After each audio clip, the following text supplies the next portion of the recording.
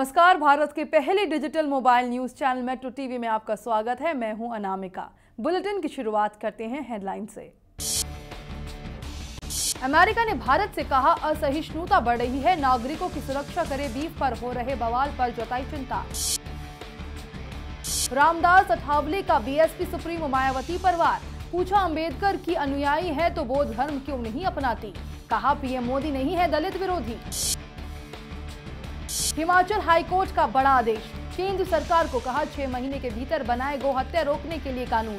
पहले भी गोहत्या पर प्रतिबंध लगाने के दिए थे आदेश। देश के 10 राज्यों में भारी बारिश का कहर। सुबह होते ही फिर लगा दिल्ली में जाम। असम समेत पूर्वोत्तर के कई इलाकों में बारिश से हाल बेहाल और अंगूठे की चोट की वजह से ओपनर मुरली विजय दूसरे टेस्ट से बाहर। केएल राहुल को टीम में किया गया शामिल। आज से शुरू हो रहा वेस्टइंडीज के खिलाफ सीरीज़ का दूसरा टेस्ट। अमेरिका ने भारत में बढ़ती असहिष्णुता और हिंसा पर चिंता जताते हुए भारत सरकार से कहा है कि नागरिकों की सुरक्षा और अपराधियों को सजा दिलाने के लिए वह हर संभव प्रयास करे। भारत में गोमांस का सेवन करने वाले लोगों के खिलाफ कथित हिंसा की घटनाएँ और मध्य प्रदेश में भैंस का मांस ले जा रही दो मुस्लिम महिलाओं के साथ मारपीट की घटना से जुड़े सवालों का जवाब देते हुए अमेरिकी विदेश विभाग के प्रवक्ता जॉन किर्बी ने कहा, सभी तरह की असहिष्णुता से मुकाबला करने और धार्मिक तथा अभिव्यक्ति की स्वतंत्रता को बनाए रखने की कोशिश में हम भारत सरकार और नागरिकों के साथ है। यूपी में गर्माते चुनावी माहौल और दलित वोटों की खींचतान के बीच केंद्र सरकार के राज्य मंत्री रामदास अठावले ने मायावती पर निशाना साधा है।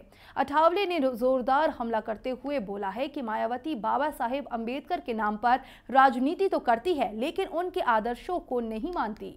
इसके साथ ही उन्होंने ये भी कहा है कि अंबेडकर के नाम पर राजनीति करने वाली मायावती ने अभी तक बौद्ध धर्म क्यों नहीं अपनाया?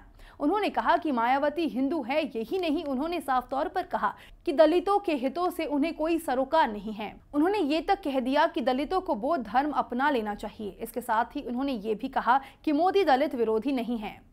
हिमाचल प्रदेश में गोहत्या पर प्रतिबंध लगाने के बाद अब हाईकोर्ट ने केंद्र सरकार को आदेश जारी कर कहा है कि गोहत्या रोकने के लिए छह माह के भीतर कानून बनाया जाए। शुक्रवार को हाईकोर्ट के न्यायाधीश न्यायमूर्ति राजीव शर्मा और न्यायमूर्ति सुरेश्वर ठाकुर की खंडपीठ ने केंद्र सरकार को ये आदेश जारी किए। इससे पहले अक्टूबर 2014 में भी हाईकोर्ट की इसी खंडपीठ ने हिमाचल में गोहत्या पर प्रतिबंध लगाने के आदेश जारी किए थे। उसके अलावा हाईकोर्ट ने सड़कों से आवारा पशु हटाने, उनके लिए गोस्तन बनाने और घायल पशुओं के इलाज सहित अन्य कई आदेश दिए थे। इसी सिलसिले में हाईकोर्ट में सुनवाई के दौरान शुक्रवार को केंद्र सरकार को भी गोहत्या पर प्रतिबंध लगाने के लिए छह माह के भीतर कानून बनाने के आदेश जारी किए गए हैं।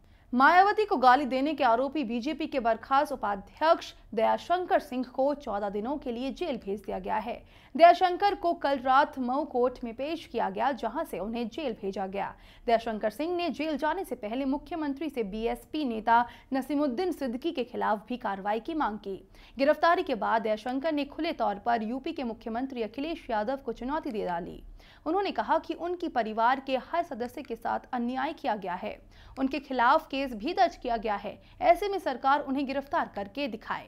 गौरतलब है कि जयशंकर की पत्नी की ओर से ये मुकदमा दर्ज कराया गया है।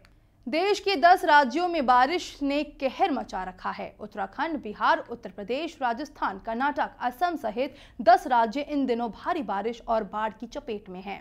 मौसम विभाग ने पश्चिमी पश्चिमी उत्तरी राज्यों सहित राजधानी दिल्ली और एनसीआर के कुछ क्षेत्रों सहित हरियाणा और उसके आसपास के इलाकों में बारिश लगातार जारी रहेगी।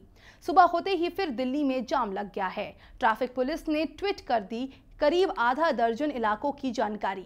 बारिश की वजह से दिल्ली एनसीआर में सड़कों पर भयंकर जाम लग रहा है। वही अहमदाबाद बाढ़ से जूझ रहा है। मध्य प्रदेश में लोगों के लिए रोपवे का सहारा है तो कर्नाटक के बेंगलुरु में राहत बचाव अभियान शुरू हो गया है। असम सहित पूर्वोत्तर के कुछ हिस्सों में भी बदहाली का आलम है। पहले टेस्ट मुकाबले में वेस्टइंडीज पर एशिया के बाहर सबसे बड़ी जीत दर्ज करने के बाद टीम इंडिया की नज़रें अब दूसरे टेस्ट में जीत दर्ज कर वेस्टइंडीज में टेस्ट सीरीज़ में एक से ज़्यादा मैच जीत अपना रिकॉर्ड बेहतर करने पर लगी है। लेकिन इसी बीच भारतीय टीम को ओपनर मुरली विजय के दूसरे टेस्ट से भी बाहर होने के बाद बड़ा झटका लगा है। खबरों के मुताबिक सलामी बल्लेबाज मुरली विजय अंगूठे की चोट की वजह से दूसरे टेस्ट से भी बाहर हो गए हैं।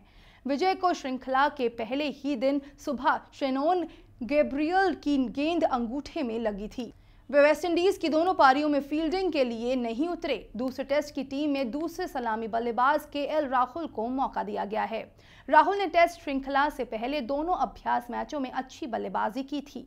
खबरों के सफ़र में फ़िलहाल इतना ही। देश दुनिया की पल पल की खबरें हम आप तक पहुंचाएँगे एक नए अंदाज में। आपके मोबाइल फ़ोन के माध्यम से तो आप जुड़े रहिए मेट्रो टीवी से। नमस्कार।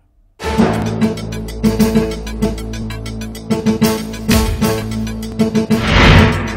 you.